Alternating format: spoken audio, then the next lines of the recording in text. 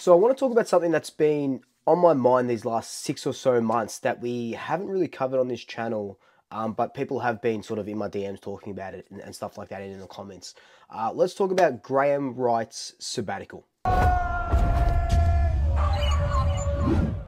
So in December, uh, Graham Wright, the general manager uh, at, Collingwood, uh, announced a sabbatical. Not just him, that the whole club announced a six-month sabbatical to be returning to the club in September. Now, this was sort of, you know, talked about after Graham Wright has been in the football world for like 35 years straight, um, player, and then, you know, he oversaw Hawthorn's premiership success and stuff like that, and been at the since 2021. We'll talk a little bit about what he's done uh, a little bit later.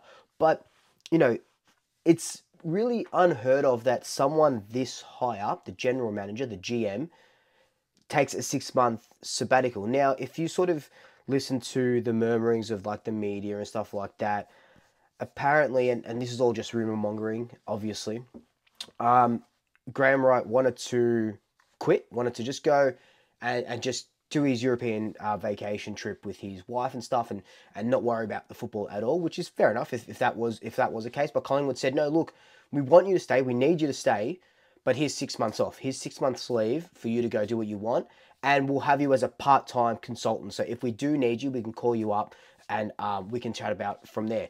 Now, this really plays into Collingwood's.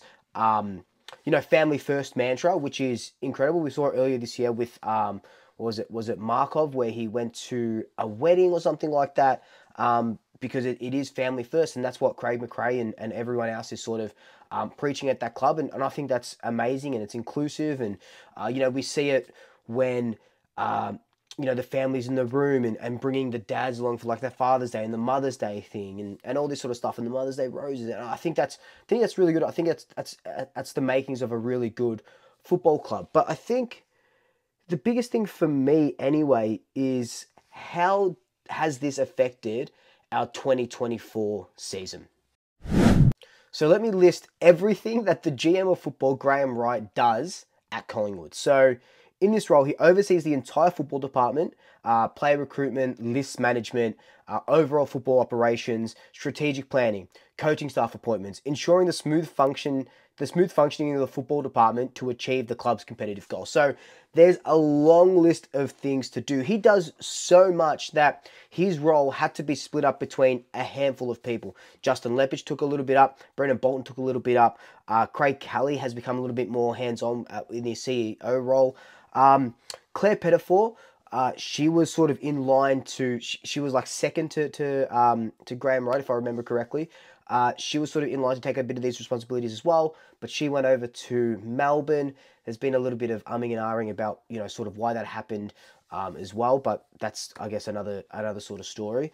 Um, so his his one role, or his his one person's role, had to be split up between a number of people. That's how much Graham Wright has done for this club since coming on in 2021. So let's talk about 2021. So Graham Wright comes on uh, as GM in 2021 after he was there for Hawthorn for a long time.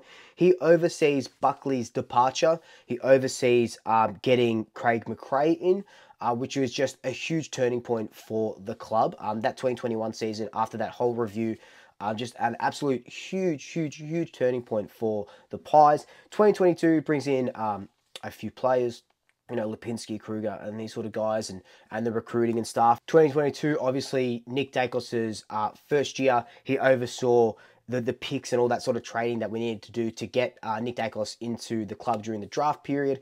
2023, as we know, premiership year. Uh, Graham Wright has a lot of hands to do with that. All those trades, all those free agency, you know, Tom Mitchell, Dan McStay, um, all these sort of guys uh, comes into the club. You know, Billy Frampton and stuff like that.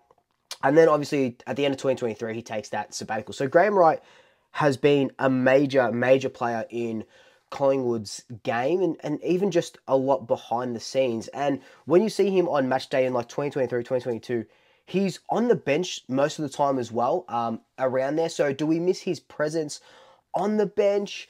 Um, do we miss his, his presence where, you know, now that his role has shifted to a lot of different people, is there a power struggle or something like that? You know, like you hear you hear the media pundits uh, talking about how uh, X is upset with Y because Y wanted the role and X didn't get the role and, and all this sort of stuff. And and that's again, that's just a lot of rumor mongering. We we don't know. So I'm not gonna sort of say, oh, X is mad at Y because of this. Because we just we just don't know any of that. But I do feel like Graham Wright's non-presence at this football club and maybe the way that he left, in my opinion, has left a bit of a sour taste in people's mouths, maybe.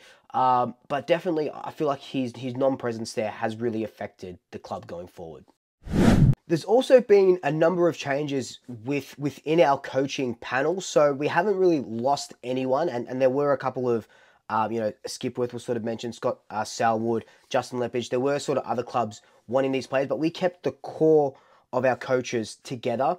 The only thing that we've changed is some responsibilities, and I think that's a trickle down from um, from from Graham Wright leaving. So like, like let's, let's look at this, right? So Hayden Skipworth in 2023, his role was assistant coach, uh, responsible for the midfield group with Scott Selwood. 2024, promoted to senior assistant, but still the midfield coach, right? That doesn't really change much. Uh, Scott Selwood in 2023 was a development coach, focused on player growth uh, and, and development, obviously. Uh, and he was the midfield coach with Skipworth. Now he's he's um, uh, promoted to assistant coach, and he's responsible for the forward line. Jordan Roughead was uh, worked a lot with the AFLW program as an assistant coach. He's come on and is responsible for the backline now in 2024. Justin Leppitsch, senior assistant coach last season, uh, he contributed to, to a lot of the lines in, in the coaching, but mainly uh, the forward line was instrumental in in you know what we did a, as a club last season to win that um, premiership. Now he's director of strategy and innovation, focusing on developing and implementing the football program strategic vision. So a little bit different uh, than coaching the forwards, obviously. Uh, a little bit more broad, a little bit more all encompassing. Brendan Bolton was director of coaching last season, uh, and he oversaw the overall coaching framework and backline coaching. So he was a backline coach. Now he's Director of Coaching, Learning and Leadership, and again, encompassing a broader leadership and educational role across the football department, and again, taking those responsibilities from Graham Wright, him, and Justin Leppitsch. Uh, Brendan McCartney comes on as a full time uh, developmental coach for the younger players, so that's fine. And Josh Fraser is um, head of uh, development and VFL senior coach as well, along with uh, Neville Jetta. So there are tweaks here and there, here and there uh, to, to all these sort of coaches. And, you know, Craig McRae does come out and say that we want to promote from within, and, and I'm all for that. I'm all for sort of changing. But is that changing too much from 2023 to 2024? Because, you know, I know that the vision is all the same and, and it's all that sort of one team, that one vision, and we sort of know how we want to play. But when you move from the back line, let's say as a backline coach, to the forward line as a coach, you're going to have sort of different ideas to what the coach did last year. Same with the midfield, and same with this, same with that. So I don't know. I, I think I think there's there's just been a, a little bit too much of a change in Collingwood's backroom staff in the last you know since the premiership really so since that december january march sort of sort of area and i think it really cascaded down from that um, graham wright uh, sabbatical and and Brendan Bolton isn't as hands on as he was and Justin Leppitsch isn't as hands on as he was. But I like the I like the progress.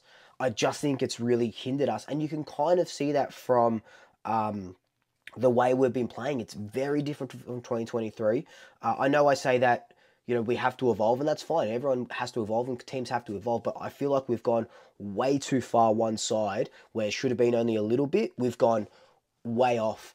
Um, and I just think it, it's really just messed us up, just from obviously from the outside, sort of looking in, and all obviously my opinion. And that's not to say that I don't think any of these coaches are are good in in these new roles. It's just to say that different ideas from coming from different roles. I don't know, just. like maybe, maybe I'm sure you feel it too that there's just something different with the game plan, with the coaching, um, I just feel like we've been outcoached these last three or four weeks, and that's not like Collingwood. It's not like Craig McRae um, and his team. And I think that is because we're, we're sort of losing that Justin Leppitsch role. We're losing that Brendan Bolton role because they're doing a more wider role. Like, I think it's just, you know, sh- I guess the whole question of this video is should we have let Graham Wright quit and then found the next best person for Graham Wright? Or have we done the right move? And, and I'm all for the family first. I understand that. I get that. But have we done, done the right move for the club by letting Graham Wright go and not getting someone in to fill his role straight away? And then having Bolts and Lepo and, and whoever else is, is sort of doing more of a hands on role. It, like Graham Wright comes back in September. That's if to say we make finals in September, so he'll be there for like the off season sort of stuff. But when you think about it, the off season stuff is, is going throughout the season anyway.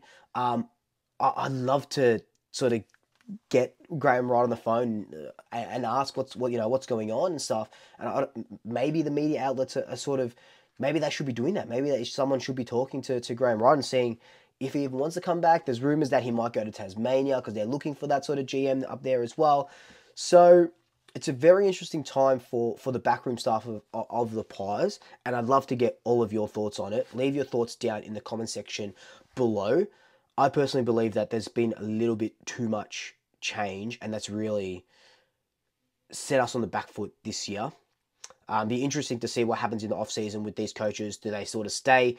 What happens when Graham Wright comes back? Do, do Leppitsch and Bolton go, wait, hang on a second, we love our roles. Graham Wright, we love him. You got to do something else, or, or so, who knows? Who really knows? And we're not going to find out for the next few months anyway. But um, yeah, I guess we've been. I feel like we've been suffering on field because of it.